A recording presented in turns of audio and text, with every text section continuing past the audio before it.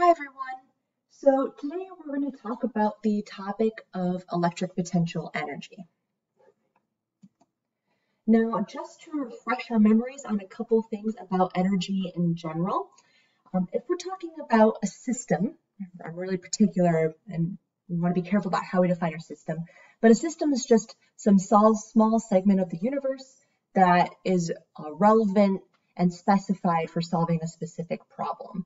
The environment is everything outside of this. So typically what we're doing is we're choosing a system of objects to include in our system.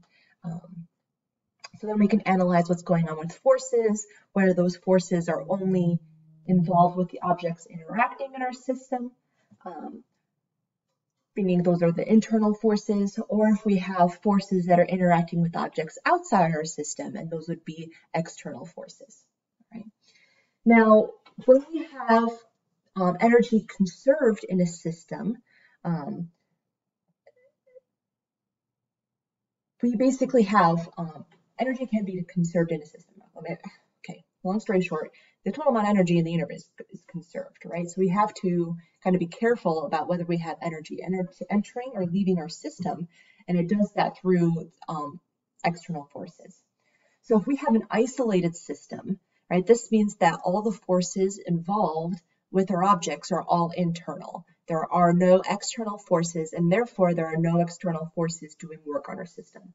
I guess I should put a caveat there. There can be external forces but as long as they're not doing any work, then the system is isolated. The total amount of energy in the system does not change. If we have a system that's not isolated, this means that energy is transferred into an outer system via work, right? This can be, or heat. I was talking about heat this year. Just to remind ourselves, the formula we have, so the change in energy of our system is equal to work, right? So this is the work energy theorem, um, where work is can be defined as the the parallel, the component, component of the external force that's parallel to the displacement, uh, which kind of amounts to the formula FD cosine theta. Okay, so quick review there, quick refresher. Refreshing our memories further with applying energy conservation here. Um, so let's suppose we have a hand pushing on a spring on a block that compresses at a constant speed, all right? Um, if we consider the system to be the block and the spring together, we're including the spring in our system, then the only external force we have here that's doing work is the pushing force of the hand, right? Looking here, force of gravity is perpendicular to the displacement of the object, so it doesn't do any work. Um, so this pushing force is going to, does work on the system. Um, so therefore, it's going to add energy to our system. The way this is manifested in our system is by an increase in uh, spring potential energy because our spring is compressing, right? So remember the spring force uh, that, excuse me, this um, spring potential energy increases as the spring is compressed or stretched from its equilibrium position.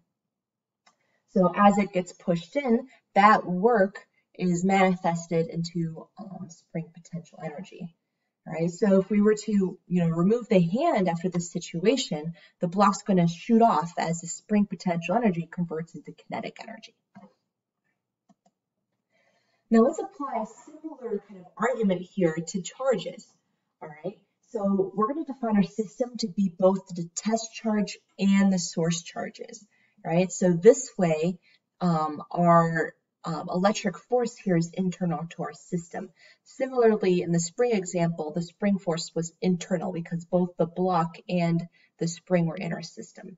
So here, our electric potential energy, excuse me, our electric force is internal to our system. So that's going to manifest instead um, as rather than dealing with the work done by the electric force, we're going to be dealing with electric potential energy instead. But let me take a step back here. Um, let's have a system of source charges here. So remember that means that these uh, these charges here are creating an electric field around them, right? Where the test charge, we're assuming its charge is so small that its electric field doesn't um, it doesn't really create one. It's negligible compared to the source charges. All right. So this test charge is feeling a force due to the source charges, right? So naturally, right? This charge does not want to move towards these test charges because they're both positive. So we need some sort of external force here to, to bring this charge closer. Um, and in doing so, that's going to increase the energy of the system, just like it did with the spring. Um, bringing this uh, charge closer is going to add energy. And we can kind of picture that because if we were to, let's say, look at this top picture and we were to let go of the charge at this moment, right, this, this uh, charge would, you know, accelerate leftward, right? But if we brought it closer, it would then accelerate leftward at um, a faster speed because we have more potential energy in this situation. Um, so basically, kind of the caveat here is um, this work to bring this uh, test charge towards the source charges manifests, manifests itself as potential energy, specifically electric potential energy. So again, I'll repeat what's important here is we're including both the test charge and the source charge in our system. That is allowing, that makes our, this electric force an internal force to our system. Therefore, in terms of energy, rather than having work done by an external force, that electric force, we have um, electric potential energy instead. I'm trying to put the language into similar language that we discussed last year. So kind of a note here on some semantics. First is that we can literally compute how much electric potential energy is in a system by kind of computing the equivalent situation of uh, the work needed to bring that system of charges together, right? Because they're two sides of the same coin. Um, now, electric force is a conservative force. Um, so this means that we have an electric potential energy equation. Um, also, something just to be careful with, again, with vernacular and language, we're sloppy in the way a lot of physics is spoken. We shouldn't be. A lot of times we'll say, oh, the potential energy of charge Q, right? But if we're just dealing with the test charge, and it's not interacting with other charges, right? We, need to include both the test charge and the source charge in order to, to be speaking about potential energy because potential energy is energy of a system, not of one object. It has to, there has to be an interaction, an internal force here. Um, now, if we did not include these source charges in our system, that's okay. But then rather than having and dealing with electric potential energy, we now have the external force, the electric force, and then so then this external electric force does work on our system instead, our system being just an object.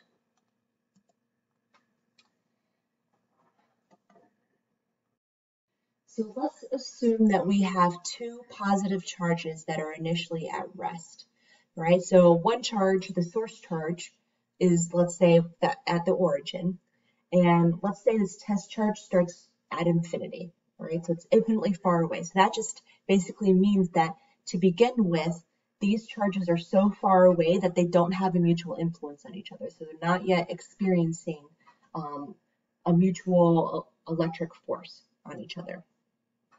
Now, as these charges move towards each other, so I think it's easiest for us to pretend the source charge remains at zero and we bring the test charge from infinity to some other location.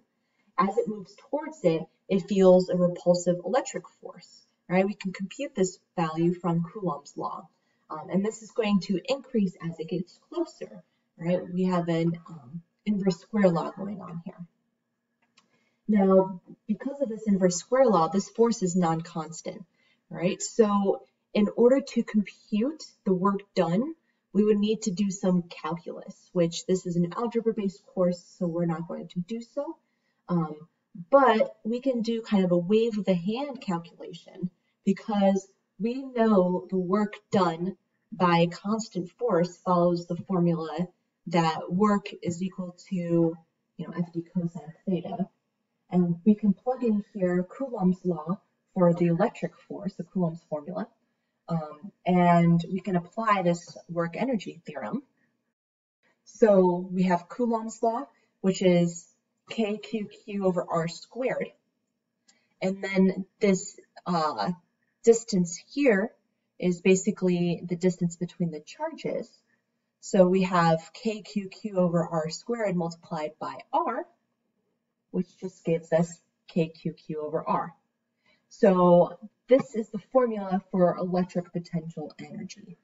Um, so remember, U is used to symbolize um, potential energy. And remember, we're here K is the Coulomb constant, which you can um, symbolize also as 1 over 4 pi epsilon naught. Um, but anyway, so Q here is the source charge, the other Q is the test charge. Um, they may not always be obvious in the problem, it doesn't really matter. Uh, so it's just the two different charges, Q1, Q2, and then R is the distance in between them. Um, and so you might be saying, well, we just moved a particle from infinity to some location, right? And you made the argument that the distance there is r. So the reason for that is we define that the electric potential energy is zero when the when the when charges are infinitely far away. And that's because the electric force, they have no influence on each other, is zero. So these so when you bring we only have basically we're also defining then infinite potential energy when uh, the distance between the charges is zero when they're right on top of each other, um, which is impossible. Uh, and we can see that here in this formula, right? If we divide by zero, this blows up. Um, so blows up in mathematical terms. Um, so that's the reason why in the displacement I said the value was, was R. Um, now, kind of how this is presented on your formula sheet um, it's going to make more sense when we cover electric potential in next lesson. So they don't have this formula here, um, but they do have a formula that relates electric potential energy to what's called electric potential. I know lots of confusing terms this unit, um, where electric potential is equal to this formula here. So basically, if you you know look at this V and plug it into this top equation, we end up with this equation here.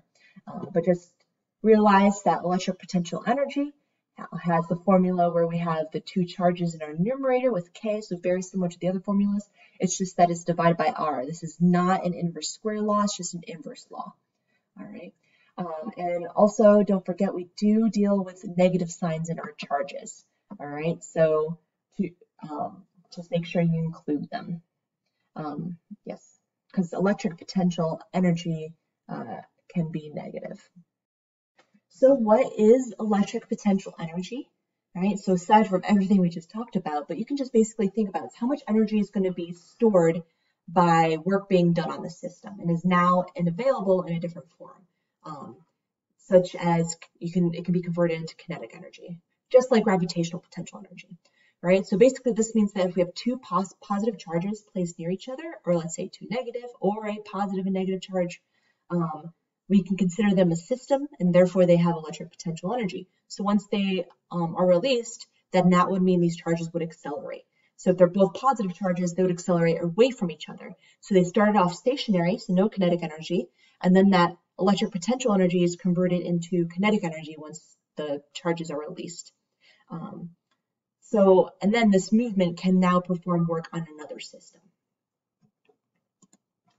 So to kind of summarize things here in terms of um, signage, if but the charges have the same sign, um, the formula used basically is this here, the charges will repel, and it takes positive work to keep the charges from moving. Um, because the charges want to displace away from each other, so you have to push a force kind of inward, so to speak, to keep that from happening.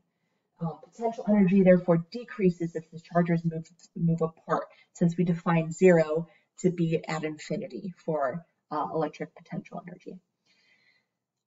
Um, if we have a one positive and one negative charge? These will uh, charges will attract, and it takes negative work to keep the charges from moving. And potential energy decreases as they move closer together, right? Because the charges want to um, be together. Um, this is kind of a, a summary of how electric potential energy behaves when we have positive and negative charges.